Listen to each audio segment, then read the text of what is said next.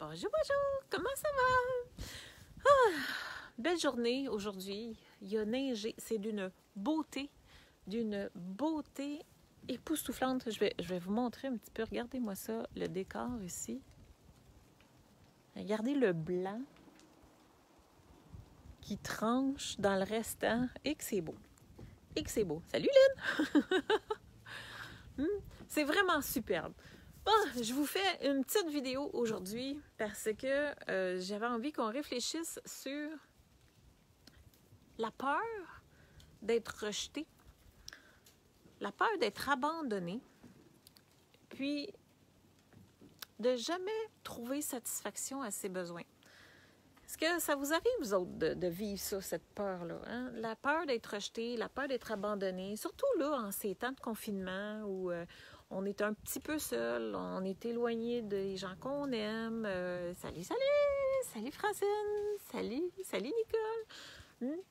Où on est éloigné des gens qu'on aime, de, vivre, de se sentir. Est-ce que vous vous sentez abandonné par les autres, par vos proches? Est-ce que vous vous sentez rejeté par les gens? Est-ce que vous avez cette impression-là peut-être de jamais arriver à trouver satisfaction à vos besoins? Moi, moi j'ai vécu ça, je te dirais, j'ai tout vécu ça. ouais, tout vécu ça. Euh, la peur d'être abandonnée, ça c'était pas mal plus inconscient par contre.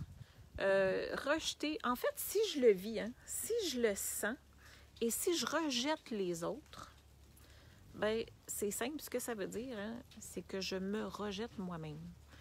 Et même chose, quand que euh, je me sens abandonnée ou j'ai peur d'être abandonnée par les autres, c'est parce que ben, c'est exactement ce que je fais envers moi-même. Je m'abandonne dans certains axes, dans certains euh, aspects de ma vie.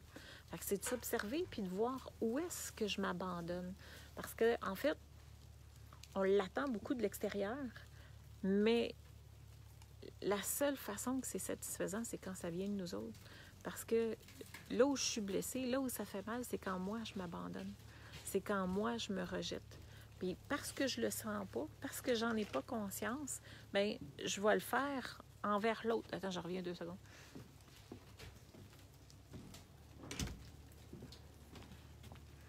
J'étais sortie de sa galerie, la porte elle rouvre. T'as un beau fantôme qui sort. la porte elle rouvre tout seul. Hmm. C'est de prendre cette conscience-là de comment est-ce que ça se passe pour moi, de quoi j'ai peur, qu'est-ce que je porte, est-ce que je trouve que tout le monde me rejette, euh, comment je me sens, hein? comment est-ce que vous vous sentez, comment est-ce que vous vivez ça? Puis ça, c'est toujours, toujours, toujours, toujours le comportement que j'ai envers moi, mais pour lequel j'ai pas conscience. Puis moi, j'avais vraiment pas cette conscience-là. Ça m'a pris du temps avant de réaliser euh, parce que c'est toujours plus facile de le garocher sur l'autre, puis que c'est sa faute, puis euh, c'est parce qu'il m'aime pas, c'est parce que je suis pas assez importante pour lui, c'est parce que si, c'est parce que ça. Il y a toujours des bonnes réponses, il y a toujours des bonnes raisons de, de de pas voir que ça vient de nous autres. Puis oui, c'est frustrant. Ça fait bien des frustrations. Euh, puis ce qui est frustrant, dans le fond, si on observe ça, c'est c'est prendre tout ce pouvoir-là qui est à nous, qui nous appartient, puis de pitcher ça dans le cours du voisin. Hein? Puis d'attendre, d'attendre, d'attendre et d'attendre de recevoir ce qu'on a besoin. mes besoins, si je m'arrête pour en prendre conscience, j'ai 100% le pouvoir de pouvoir satisfaire mes besoins. Mais c'est à moi de m'en occuper. C'est à moi de poser le geste. Lynn, justement, là, hein, Lynn? Lynn, elle s'occupe de ses besoins. Lynn, elle veut faire une rencontre. Hein? Une rencontre avec tout le monde. Elle prend les moyens pour être capable de rencontrer tout son monde puis de pouvoir jaser avec tout ce monde-là. Tout ça, ça se fait. Tout ça, c'est possible. Elle s'est occupée de son besoin. C'est ça qu'elle avait besoin de vivre. Ben, elle s'est dit comment je pourrais arriver à faire ça. Hein? Voyez-vous, la, le minding, à place de dire il n'y a personne qui me contacte, il n'y a personne qui prend contact avec moi, qui veut me jaser. Euh, tout le monde reste dans leur coin. Il me semble, moi, je m'ennuie de mon monde, je voudrais le jaser, je voudrais le parler. Puis, euh, ben, c'est ça. À la place de se plaindre, en fait, comment est-ce qu'on pourrait tout le monde se parler ensemble? Puis, hey, si on se faisait un Zoom, comment ça marche? Comment on pourrait organiser ça? Puis, puis voilà. Il n'y a rien d'impossible. Tout se fait. Il suffit de je m'excuse l'expression, mais il suffit de se décroter le nez. Là, je dis, c'est réveil, fais quelque chose. Comment je peux arriver à le faire? Puis c'est sûr, tu vas trouver quelqu'un qui va t'aider à réaliser ça. En tout cas, observez, faites la réflexion. Est-ce que on est tous de toute façon, hein, dans l'abandon et le rejet, on arrive tous avec cette blessure-là. Qu'importe, qu'importe, on arrive tous avec la blessure d'abandon et de rejet. Fait qu'on a tout ce fonctionnement-là de rejeter les autres parce que on se rejette soi-même. Puis c'est là qu'on n'a pas conscience. C'est là qu'on ne le voit pas. On le voit chez l'autre. On le voit sur les autres. Mais de le voir, tu sais, de prendre le miroir et virer ça de côté, là, ça, c'est pas facile. Ça, c'est vraiment pas évident. Mais c'est là qu'on a du pouvoir. Quand je le pitch sur l'autre, je prends ce pouvoir-là, je le garoche l'autre bas. Récupérer ce pouvoir-là, ben ça demande de l'humilité. Puis ça, l'ego, il n'aime pas ça, ben, ben, nécessairement. c'est ça qui est le plus tough à faire. Ouais. Puis, de s'arrêter aussi, parce que des fois, c'est inacceptable. Il y a des enfants qui sont trop souffrantes qui disent ben là franchement c'est pas vrai là ça se peut pas que je me fasse ça ça peut moi je me souviens la première fois que quelqu'un m'a dit euh, ça se peut-tu que tu t'auto sabotes je fais, ben là, franchement, voyons donc. Tu ris de moi, là? je travaille assez fort pour mes affaires. Tu penses-tu que je vais me saboter en plus? J'avais pas toute cette conscience-là. Je me plains jamais. Je ne mets jamais la faute sur les autres consciemment. Non, c'est ça, c'est sûr que c'est pas conscient, mais on le fait pareil. Hein? Ceci dit, je ne sais pas satisfaire mes besoins car je n'ai pas, je ne sais pas les définir correctement a priori. Oui. Ben, même si on s'en rend pas compte, là, on fait tout ça pareil. On fait tout ça pareil. Parce que même quand tu es dans la conscience de tout ça, c'est tellement automatique, c'est tellement facile, on est tellement dans, cette, dans ce cheminement-là qu'on se voit même pas aller, c'est même pas conscient. en fait, ce qu'on pourrait dire, c'est que j'ai jamais eu l'intention de le faire.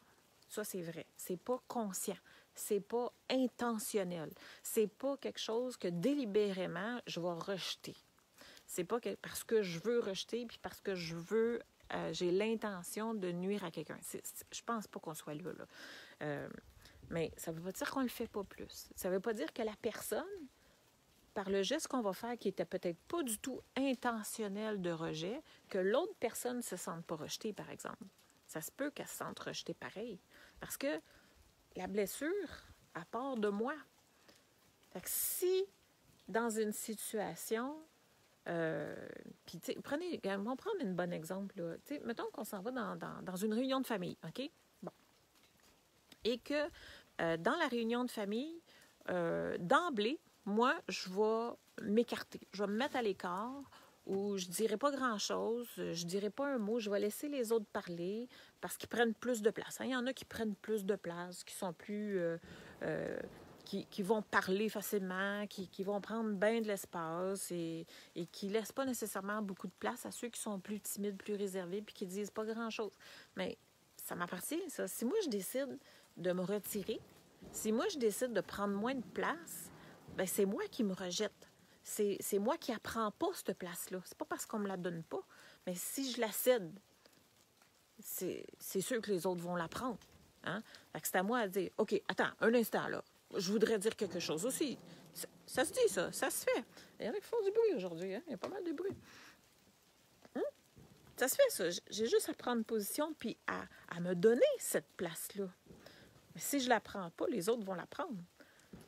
donc, si je me retire, c'est moi qui se rejette, dans le fond, qui se met dans le coin. Et si mon besoin, c'était de rentrer en communication avec l'autre, c'était de jaser avec l'autre, puis que je le fais pas, ben c'est moi qui s'abandonne là-dedans. C'est moi qui se rejette. Si je me sens abandonnée, si je me sens rejetée, c'est normal, parce que c'est ça que j'ai fait envers moi-même. Puis c'est ça qu'on n'observe pas, c'est ça qu'on voit pas, c'est ça qui est dur. C'est ça qui est difficile à voir. C'est ça qui est difficile à réaliser. En fait, c'était ça, c'est là où je voulais vous emmener aujourd'hui.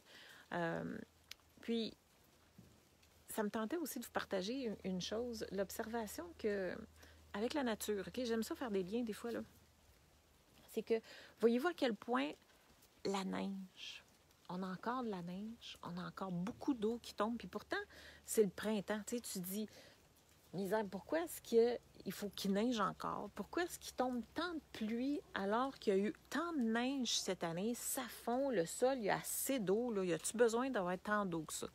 Mais si on observe ça, c'est que la nature a été en hibernation, en sommeil, pendant un certain nombre de temps.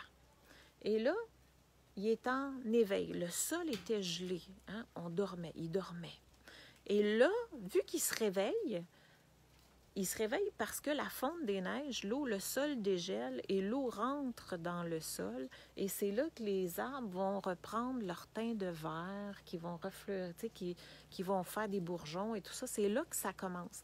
Et on s'aperçoit que pour renaître à la vie, pour que ressentir cet élan de vie en soi. Là, on est un peu dans notre hiver. Hein. On est confiné, on, est dans cette époque où euh, on s'arrête, on prend un temps de repos. L'hiver, c'est ça, c'est un temps de repos. Hein. Et que pour pouvoir revenir à la vie, il faut regoûter à toute cette eau, c'est-à-dire à toute cette émotion, à toute cette énergie qui nous habite en tant qu'être humain pour se nourrir de ça. On est des êtres d'énergie, on est des êtres d'émotion. On les rejette de toutes sortes de façons.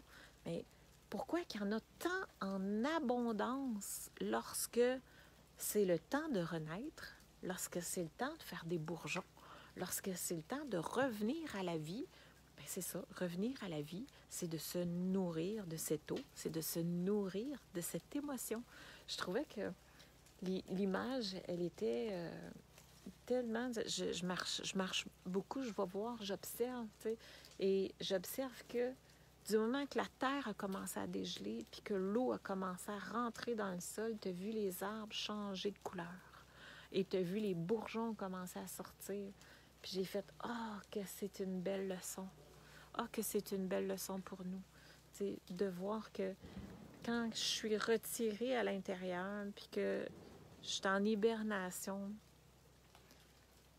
que je fais un temps de repos, que je fais un temps de silence, que je fais un temps d'arrêt, que toute cette émotion qui ressurgit, qui refait surface, de me nourrir de ça, c'est ce qui va me permettre de me sentir en vie. Faites l'expérience. Hmm. Quand je me coupe de mes émotions, je meurs je me sens mourir de l'intérieur. Quand je refuse ce qui s'offre à moi, quand je refuse l'expérience, je meurs de l'intérieur. Hmm. Je voulais vous laisser sur ça, sur cette réflexion-là. Je vous laisse euh, réfléchir voir comment ça se passe pour vous autres. Comment est-ce que euh, est-ce que ça vous arrive d'avoir peur d'être rejeté? Est-ce que ça vous arrive d'avoir peur d'être abandonné? De vous abandonner, de vous rejeter. Je tourne la question dans les deux sens, hein, parce que quand c'est vrai d'un bord, c'est automatiquement de l'autre. Automatiquement. Puis, est-ce que vous avez cette peur-là, justement, de ne pas jamais trouver satisfaction à vos besoins? Si la réponse est oui, c'est parce que tout ce pouvoir qui vous habite vous le donnez à l'autre. Allez en chercher un petit peu. Allez en récupérer une partie. Vous allez voir, là, ça nourrit, ça fait du bien. Je vous laisse là-dessus. Je vous embrasse et euh, on se revoit demain pour une autre discussion.